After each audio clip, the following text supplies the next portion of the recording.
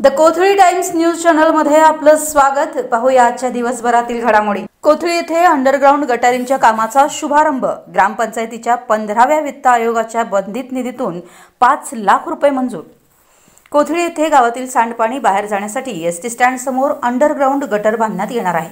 यासाठी ग्रामपंचायतीनं ग्रामपंचायतीच्या पंधराव्या वित्त आयोगाच्या बंधित निधीतून पाच लाख रुपये मंजूर केले आहेत. या कामाचा शुभारंभ पंचायत समिती उपसभापती राजगोंडा पाटील यांच्या हस्ते करण्यात आला. या कार्यक्रमाच्या अध्यक्षस्थानी सरपंच रिषभ पाटील हे होते.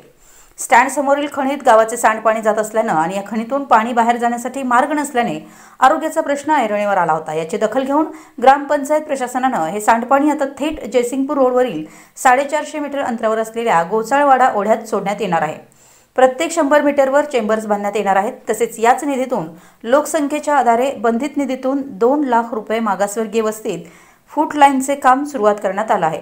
यामुळे येथील दहा ते बारा घरांना पाणी पुरवठा होणार आहे अशी माहिती यावेळी सरपंच रिषभ पाटील यांनी दिली. यावेळी उपसरपंच अकराम धनगर ग्रामविकास अधिकारी सी एम केंबळे पंचायत समिती नळ पाणी पुरवठा विभागाचे मंगलसाहेब ग्रामपंचायत सदस्य अनमोल करे शरद कांबळे विलास कोरवी कुमार सुतार राजू विभूते विजय खवाटे लखन कांबळे शैलेश तिवडे आदी उपस्थित होते. द कोथळी टाइम्स न्यूज चॅनलला सबस्क्राईब करा लाईक करा बेल आयकॉनला क्लिक करा. ताज्या घडामोडीसाठी आमचा नंबर आपल्या ग्रुपमध्ये ॲड करा.